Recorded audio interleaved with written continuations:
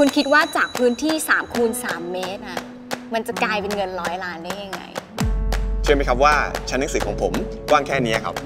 แค่แรงบันดาลใจจากคนใกล้ตัว ก็สามารถสร้างผลงานระดับโลกได้สำหรับต้าความสำเร็จคือความไม่กลัวการเปลี่ยนแปลงสำหรับผมนะครับความสำเร็จก็คืออิสระในการควบคุมชีวิตครับ ความสำเร็จของผม คือการที่เราเป็นแรงบันดาลใจให้กันและกันได้